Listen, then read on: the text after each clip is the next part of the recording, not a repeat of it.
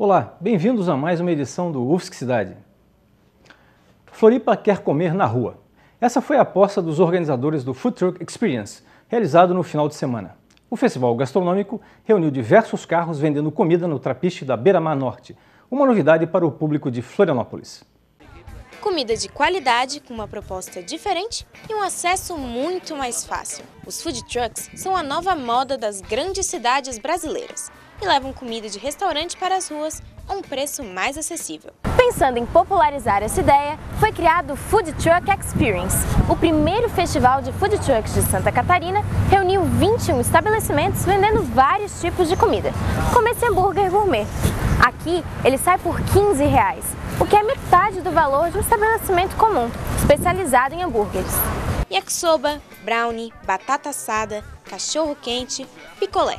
A variedade não para por aí. Pessoas de todas as idades compareceram ao evento que ocorreu nesse sábado. Durante nove horas, o público pôde saborear uma experiência diferente. Dependendo do que você vai comer hoje em dia, você vai gastar muito mais dinheiro indo no restaurante do que indo no food truck. O food truck tá certo, ele tem certos percalços, por exemplo, pode estar tá chovendo, então o cara tem que estar tá preparado para ter ou não uh, acesso àquela está preparado ou não com o estoque de comida, quantas pessoas ele vai servir. A gente quis abrir espaço tanto para quem tem food truck hoje em Florianópolis ou está em vias de ter. Tem muita gente que hoje está terminando de adaptar o veículo, vai abrir no mês que vem. E a gente quer abrir espaço também para todo mundo que tem interesse em montar alguma coisa ao redor do conceito. Então hoje a gente tem gente que tem plano de negócio pronto, a gente tem gente que está louca para abrir, mas está com medo, não sabe se vai vingar. Os proprietários da Toshi Temaqueria enfrentaram o medo e foram os primeiros a abrir esse tipo de negócio no estado. Especializados em comida japonesa, eles atendem todos os públicos. O espaço é alugado e tem que ter né, o contrato com a prefeitura e tal, né, no, com a loja e, e o alvará da prefeitura para ficar nesse local. E quanto que é o aluguel? Aluguel 500 reais. E vocês têm direito à água? É, geralmente a gente é, traz água já de casa, quando falta a gente pega aqui. E a luz é separada, é da Celeste. Atualmente, a existência de food trucks em Florianópolis depende desse tipo de contrato. Não existe nenhuma lei que regulamente o serviço ou os diferencie de uma simples van de comida. Para ser considerado um verdadeiro food truck, o carro deve conter cozinha industrial, em 2013, São Paulo se tornou o primeiro estado brasileiro a autorizar a atividade.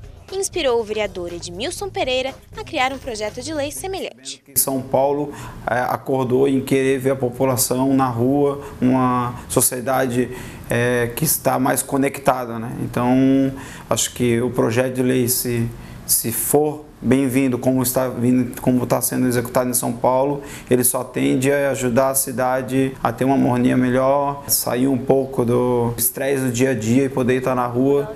Esse projeto vem com esse objetivo de tentar movimentar áreas hoje que não estão sendo movimentadas e fazer as pessoas estar sendo conectadas. Qual que é o diferencial desse tipo de negócio, desse tipo de restaurante? Eu acho que ele te dá uma disponibilidade assim de sabores, de opções alternativas muito maiores do que um restaurante dá.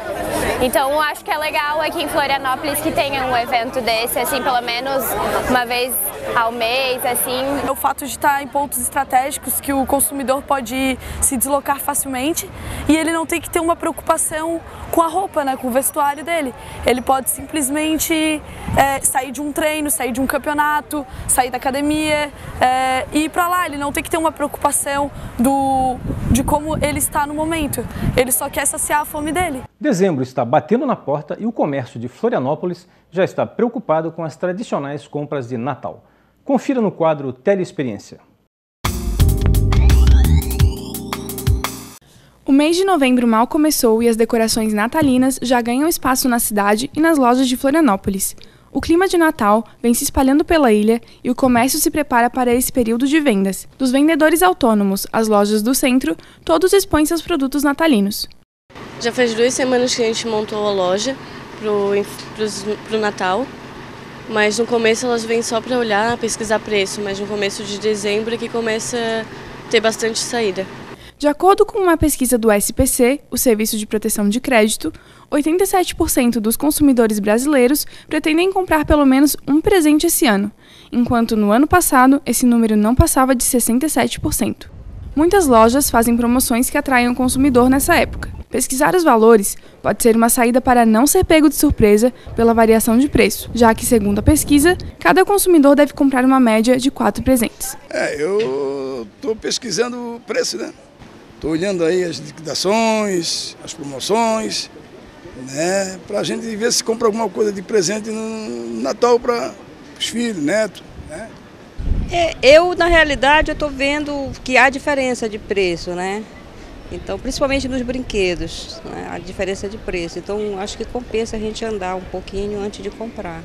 Entre os produtos mais vendidos estão vestuário, calçados, eletrodomésticos e eletroeletrônicos. Ao comprar em novembro, o consumidor pode evitar a movimentação de última hora quando os preços tendem a aumentar. Para o consumidor, no caso, é bom antecipar a venda por causa da, do preço dos produtos, que pode ser menor, mas no, com o passado do período, as promoções e a e até as condições de pagamento podem melhorar com a chegada da data. O aumento do preço ele não é tão expressivo, justamente porque o, o, o valor dos produtos comprados a Natal são maiores, então como eles sempre demandam parcelamento, então a, a diferença que vai ficar na parcela para o consumidor é muito pequena. E, depende muito de como vai ser as condições de pagamento. O, o preço ele tende a subir um pouco com a chegada da data, mas nunca de maneira exorbitante. E essa é a última semana para você visitar a exposição Memória da Aeropostal, no Museu de Arqueologia e Etnologia da UFSC, MARC, em homenagem ao mais célebre piloto da empresa francesa, Antoine de Saint-Exupéry. Ele desapareceu sobre o Mediterrâneo durante uma missão de guerra em 31 de julho de 1944.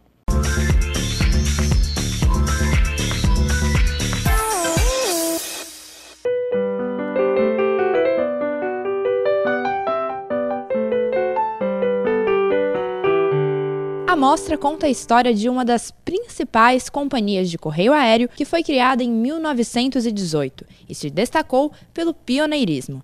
Ao percorrer as fotografias, totens, maquetes de aviões e mapas da época, os visitantes podem conhecer detalhes do começo da história da aviação postal.